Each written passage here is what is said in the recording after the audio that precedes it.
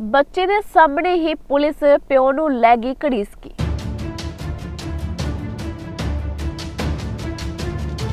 ਰੋਂਦੀ ਕੁਰਲਾਉਂਦੀ ਛੋਟੇ ਬੱਚੇ ਕਰਦੀ ਰਹੀ ਪਾਪਾ ਪਾਪਾ।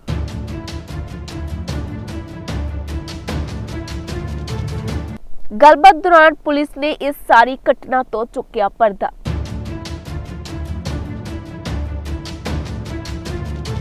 ਅੰਮ੍ਰਿਤਸਰ ਦੇ ਮਜੀਠਾ ਰੋਡ ਤੇ ਹੋਇਆ ਵੱਡਾ ਹੰਗਾਮਾ।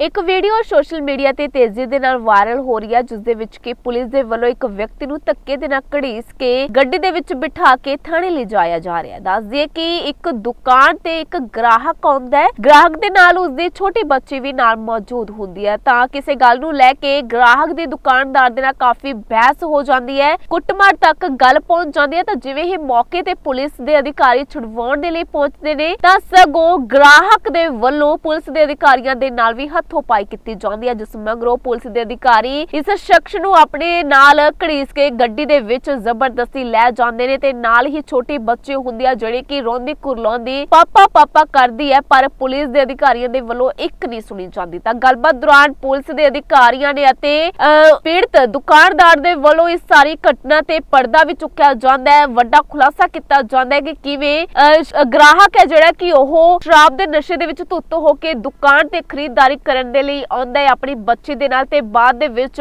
ਬਹਿਸਬਾਜ਼ੀ ਕੀਤੀ ਜਾਂਦੀ ਹੈ ਕੁੱਟਮਾਰ ਤੇ ਉਤਰ ਆਉਂਦਾ ਹੈ। ਤਾਂ ਫਿਰ ਜਾਣਦੇ ਹਾਂ ਦੁਕਾਨਦਾਰ ਦਾ ਅਤੇ ਪੁਲਿਸ ਅਧਿਕਾਰੀ ਦਾ ਇਸ ਬਾਬਤ ਕੀ ਕੁਝ ਕਹਿਣਾ ਹੈ। ਮੇਰਾ ਨਾਮ ਹੈਗਾ ਵਿੱਕੀ ਤੇ ਮੈਂ ਪਿੰਕੀ ਬੂਟ ਹਾਊਸ ਦੀ ਦੁਕਾਨ ਤੇ ਹੈਗਾ ਤੇ ਕੱਲ ਇੱਕ ਲੜਕਾ ਆਪਣੇ ਬੇਟੇ ਦੇ ਨਾਲ ਸਾਡੀ ਦੁਕਾਨ ਤੇ ਚੱਪਲ ਲੈਣ ਆਇਆ ਸੀ ਤੇ ਬਸ ਉਹਨੇ ਚੱਪਲ ਲੈਣ ਦੇ ਲੜਕਾ ਸੀ, ਉਹਦਾ ਛੋਟਾ ਬੇਟਾ ਹੈਗਾ ਸੀ ਤੇ ਨਾਲ ਆਪ ਹੈਗੇ ਸੀ, ਉਹਨਾਂ ਨੇ ਇੰਨੀ ਕਿ ਡਰੰਕ ਕੀਤੀ ਹੋਈ ਸੀ, ਬਸ ਉਹਨਾਂ ਨੂੰ ਡਰੰਕ ਦੇ ਵਿੱਚ ਕੁਝ ਨਹੀਂ ਪਤਾ ਲੱਗਾ ਕਿਤਰਾ ਕਿਤਰਾ ਸਾਰਿਆਂ ਨਾਲ ਬੋਲਣਾ, ਉੱਥੇ ਲੇਡੀਜ਼ ਬੈਠੇ ਹੋਏ ਸੀ, ਪਹਿਲੇ ਉਹਨੇ ਗਾਲਾਂ ਕੱਢੀਆਂ, ਉਹਨੂੰ ਅਸੀਂ ਦੁਕਾਨ ਤੋਂ ਬਾਹਰ ਕਿਹਾ, ਵੀਰੇ ਬਾਹਰ ਆ ਜਾ।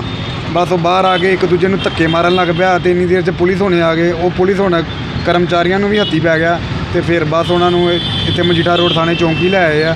ਉਹਨੇ ਬੜਾ ਅਲਕੋਹਲ ਕੀਤਾ ਹੋਇਆ ਸੀ ਕਿ ਇਹਨੂੰ ਕੁਝ ਨਹੀਂ ਸਮਝਣ ਦਿਆ ਸੀ, ਕੌਣ ਪੁਲਿਸ ਵਾਲਾ ਹੈਗਾ, ਕੌਣ ਬੰਦਾ, ਕੌਣ ਬਜ਼ੁਰਗ, ਬਸ ਸਾਰਿਆਂ ਨੂੰ ਹੱਥੀ ਪਈ ਜਾਣ ਦਿਆ ਸੀ ਉਹ ਬਸ ਇੰਨੀ ਗੱਲ ਦਾ ਜਿਹੜਾ ਵੀਡੀਓ ਵਾਇਰਲ ਹੋ ਰਹੀ ਹੈ ਉਹਦੇ ਵਿੱਚ ਉਹ ਉਹ ਉਹਦੀ ਸੱਚਾਈ ਕੀ ਆ ਵੀ ਉਹ ਜਦੋਂ ਉਹ ਉਹ ਵੀਡੀਓ ਉਹ ਵੀਡੀਓ ਉਦੋਂ ਵਾਇਰਲ ਹੋਈ ਹੈ ਜਦੋਂ ਪੁਲਿਸ ਵਾਲੇ ਉਹਨੂੰ ਲੈ ਕੇ ਜਾਂਦੇ ਪਏ ਸੀ ਨਾ ਤੇ ਇਹਨੇ ਪੁਲਿਸ ਵਾਲਿਆਂ ਉੱਤੇ ਹੱਥ ਚੁੱਕਿਆ ਸੀ। ਇਹ ਵਾਇਰਲ ਹੋ ਰਹੀ ਮਜੀਠਾ ਰੋਡ ਥਾਣੇ ਤੇ ਕੋਲ ਇੱਕ ਮੁਲਾਜ਼ਮ ਇੱਕ ਬੰਦੇ ਨੂੰ ਲੈ ਕੇ ਜਾ ਰਹੇ ਤੇ ਪਿੱਛੇ ਇੱਕ ਬੱਚੀ ਕੀ ਸਰ ਸਾਰਾ ਮਾਮਲਾ ਵਿੱਚ ਉਹ ਮਸਲਾ ਇਹ ਹੈ ਕਿ ਕੱਲ ਸ਼ਾਮੀ ਸਾਡਾ ਕਾਲਾਮਾਲਾ ਚੌਂਕ 'ਚ ਨਾਕਾ ਲੱਗਾ ਹੋਇਆ ਸੀ।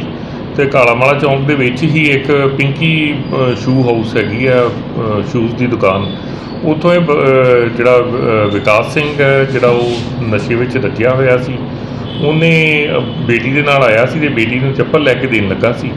ਚੱਪਲ ਲੈਣ ਤੋਂ ਹੀ ਪੈਸਿਆਂ ਤੋਂ ਉਹਦਾ ਦੁਕਾਨਦਾਰ ਨੇ 60 65 ਸਾਲ ਦੇ ਏਜ ਦੇ ਉਹਨਾਂ ਦੇ ਨਾਲ ਤਕਰਾਰ ਹੋ ਗਿਆ ਮਿਸਟਰ ਮਰਵਾਹਾ ਨਾਲ, ਵਿਨੋਦ ਮਰਵਾਹਾ ਨਾਲ।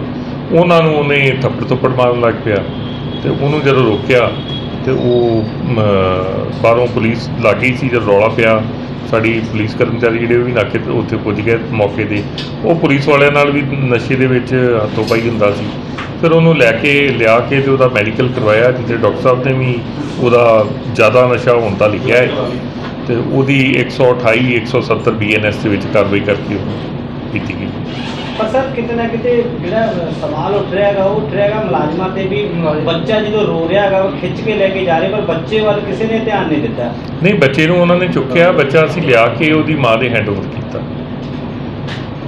ਹੁਣ ਉਸ ਤੇ ਕੋਈ ਕਾਰਵਾਈ ਕੀਤੀ ਗਈ ਹੈ ਹਾਂ ਕੀਤੀ ਗਈ ਮੈਂ ਦੱਸ ਦਿੱਤਾ ਤੁਹਾਨੂੰ ਕਿ ਉਹਦੇ ਉੱਤੇ ਕਾਨੂੰਨੀ ਕਾਰਵਾਈ ਕੀਤੀ ਤੇ। ਜਿਨ੍ਹਾਂ ਨੇ ਸਰ ਕੁੱਟਮਾਰ ਹੋਈ ਸੀ ਉਹ ਦੁਕਾਨ ਵਾਲਿਆਂ ਨਾਲ ਉਹਨਾਂ ਨੇ ਕੋਈ ਇੱਥੇ ਦਰਖਾਸਤ ਵਗੈਰਾ ਹਾਂਜੀ ਉਹਨਾਂ ਨੇ ਉਹਨਾਂ ਨੇ? ਐਪਲੀਕੇਸ਼ਨ ਦਿੱਤੀ ਸੀ। ਉਹਨਾਂ ਦੀ ਐਪਲੀਕੇਸ਼ਨ ਦੇ ਉੱਤੇ ਕਾਰਵਾਈ ਕੀਤੀ ਗਈ। ਅੱਛਾ ਉਹਨਾਂ ਨੇ ਐਪਲੀਕੇਸ਼ਨ ਤੁਹਾਨੂੰ ਦਿੱਤੀ ਹੈ? ਹਾਂਜੀ। ਠੀਕ ਹੈ। ਚੜ੍ਹਦੀ ਕਲਾ ਟਾਈਮ ਟੀਵੀ ਲਈ ਅੰਮ੍ਰਿਤਸਰ ਤੋਂ ਪੱਤਰਕਾਰ ਬਬਲੂ ਮਹਾਜਨ ਦੀ ਖਾਸ ਰਿਪੋਰਟ।